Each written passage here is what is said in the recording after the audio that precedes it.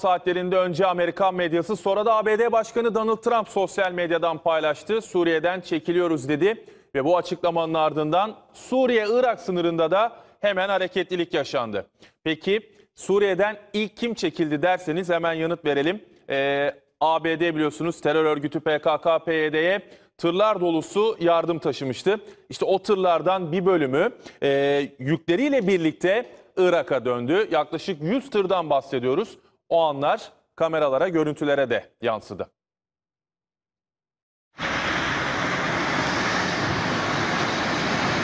İşte ilk görüntüler. Washington'dan gelen çekilme açıklamasından sonra Amerika Birleşik Devletleri'nin tırları Suriye'den çıkmaya başladı. Görüntü Suriye'nin kuzeydoğusunda Haseke vilayetinde kaydedildi. Burası terör örgütü PKK-PYD'nin işgalindeki alanlardan biri. Suriye'nin Irak sınırı hattında hareketli saatler yaşandı. Görüntü çarşamba gecesi saat 23 sıralarında kaydedildi.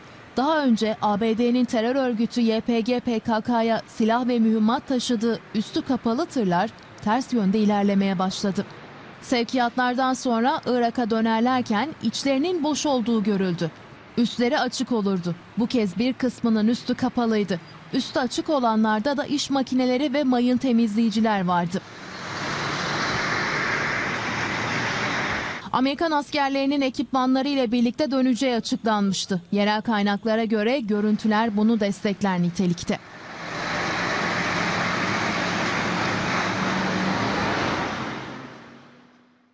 Az önce söyledik ABD Başkanı Donald Trump sosyal medya hesabından paylaştı. Suriye'den çekiliyoruz dedi. Onun bu tweetini Beyaz Saray'da doğruladı E, ve bir çekilme takvimi üzerinde çalışıyoruz değerlendirmesinde bulunuldu. Pentagon'da bu arada çekileceklerini doğruladı. Peki o takvim nasıl işleyecek? Nasıl planlanıyor çekilme süreci? İzleyelim.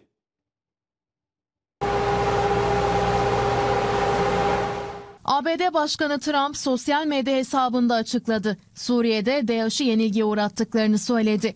Başkanlığın döneminde Suriye'de kalmak için tek nedenim buydu dedi. Böylece ABD basınında olan Suriye'den çekilecekleri iddiasını resmen doğrulamış oldu.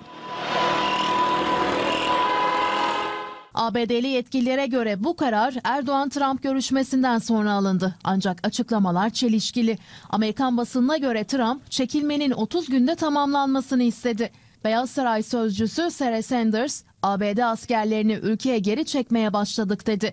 Ayrıca DAEŞ'i yenilgiye uğrattık ifadesi yerine DAEŞ'la mücadelede yeni evreye girdik ifadesini kullandı. Dışişleri Bakanlığı Suriye'deki personelin 24 saat içinde, askerlerin ise 60 ila 100 günde çekileceğini açıkladı.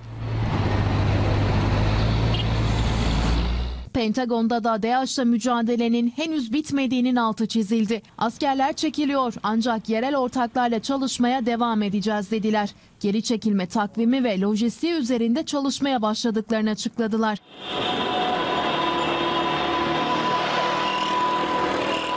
Rusya ise çekilme kararına şüpheyle yaklaşıyor. Savunma ve Güvenlik Komitesi Başkan Yardımcısı Franat Klinsevinç, ABD'nin Suriye'den tümüyle çekileceğine inanmadıklarını söyledi. ABD özel kuvvetlerini ve hava güçlerini Suriye'de bırakacaktır dedi. İngiltere Savunma Bakanı Tobias Elwood ise sosyal medya hesabından Trump'ı eleştirdi. Trump'ın DAEŞ'i yendik açıklamasına şiddetle karşı çıktıklarını söyledi.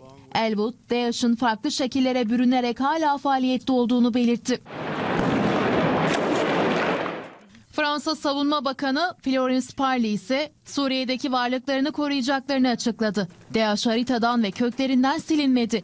Bu terör örgütünü kesin şekilde askeri açıdan yenmek gerekiyor dedi. Fransa'nın Avrupa Birliği işlerinden sorumlu bakanı Nathalie Loiseau da Suriye'de kalacaklarını söyledi.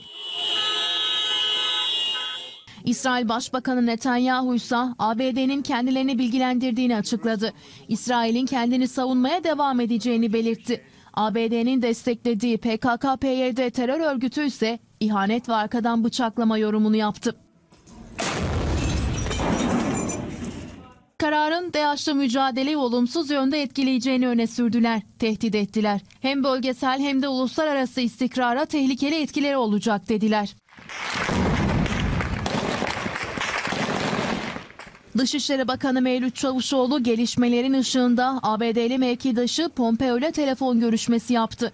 Diplomatik kaynaklardan alınan bilgiye göre ikili ABD'nin Suriye'den çekilme kararını ele aldı.